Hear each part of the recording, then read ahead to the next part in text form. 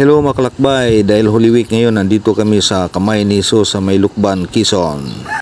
Marami ang pumunta ngayon pero andyan naman yung mga otoridad para mapayapa ang pagunita natin sa Simana Santa.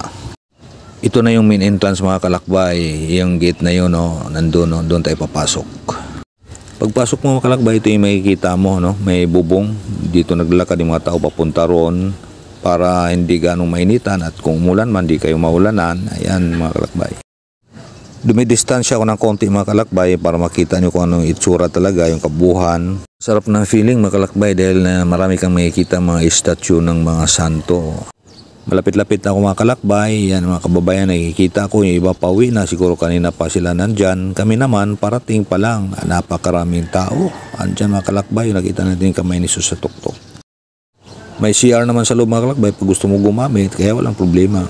Yun mga kalakbay yung simbahan nila, napakaganda. Mamaya pasukin natin, tingnan natin sa loob. Healing Church of the Risen Christ. Yun po nakalagay mga kalakbay ang ah, pangalan na sa labas ng simbahan.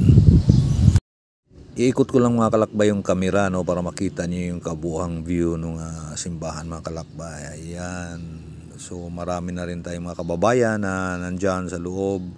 Din iba na sa labas. Siguro nag-aantay lang ng ah, mag-start yung mass ng mga kalakbay. Sa left side, yun naman makikita natin tanawin mga kalakbay.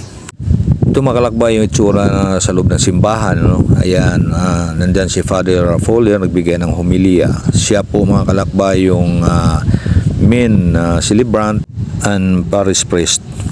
Ito mga kalakbay, ah, pipila na kami ng wife ko papunta doon sa kamay ni Jesus. Ayun, makikita mo yung lubid na yan, yung guide namin para hindi magulo. Ito na yung main gate mga kalakbay, no? papasok doon sa kamay ni Jesus.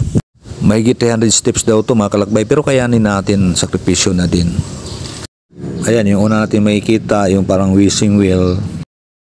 Ngayon pupuntahan na natin yung first level mga kalakbay. No? Marami din naman tayong mga kasabay para makita natin kung anong meron doon.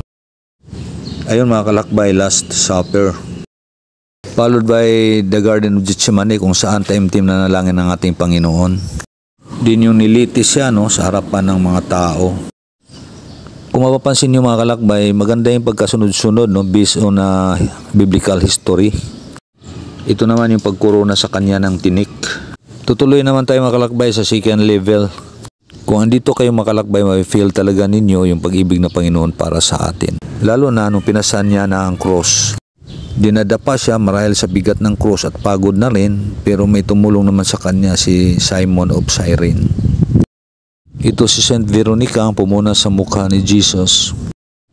Ito na yung pinakamabigat na parte sa paghihirap ng ating Panginoon, yung ipinako na siya sa cross. Ayun na kasabay na yung dalawang bilanggo. At ginawa to niyan lahat para sa kapatawaran nating mga kasalanan. Ito naman yung portion na sabi ni Jesus na uhaw daw siya, ah, binigyan siya ng mapait na inumin hanggat tumantong na siya sa kamatayan. Ang good news mga kalakbay, after 3 days, nabuhay siyang muli. Hallelujah. Ito na yung last level mga kalakbay, ang tinatawag nilang kamay ni Jesus, ang taas daw nito ay ah, 50 feet. Pero bago nangyari yung mga kalakbay, yung katabi natin sa kababayan na hilo, buti na agapan namin mag-asawa na dito ama yung ulo niya sa bato. Buti naman may medic, tinawag namin agad para mabigyan ng first aid.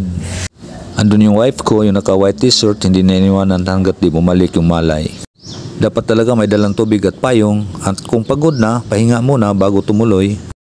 At ito naman mga kalakbay, yung pababa, yung daanan, si Parit yung pa-exit na ito mga kalakbay, pauwi.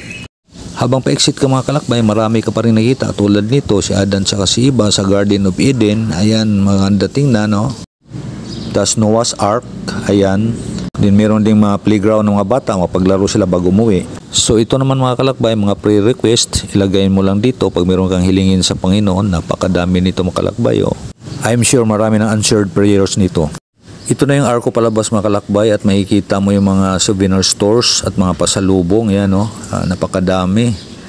Ah, bumili rin kami dyan. Then yung simbahan naman merong ah, sariling ah, souvenir shop. Yung mga religious items. Pero kung meron naman kayong dalang baon mga kalakbay, pwede kayong magpahinga rito. Dito nyo kainin. Ayan, may mga upuan naman sa lamisa. At sa banda ron, marami rin ako nakikita mga souvenir shops, oh, yung mapasalubong. At doon din, oh, nakahilira sila, mga kalakbay. Pag talagang malapit ka na sa pinaka-exit gate, ah, makikita mo maraming mga kainan, mga kalakbay. Oh. O nakuha ko, may fruit shake, oh, dami. So, bago ka umuwi, pwede kang kumain dito makalakbay para hindi ka magutom sa biyahe. Yan mga kababayan natin, pauwi na rin. Ayan mga kalakbay, ah, pagkatapos ng kumain, napabili kami ng fruit shake dahil nauhaw din sila. Yan wife ko at mapamangkin ko mga kalakbay. Ito na yung pinaka-exit gate mga kalakbay. Ah, nagmamadali na kami para hindi kami gaano gabihin sa daan pa uwing Maynila. Pumunta na kayo dito mga kalakbay ngayong Semana Santa. Ang sarap ng feeling. Bye-bye. Thank you for watching. God bless everyone.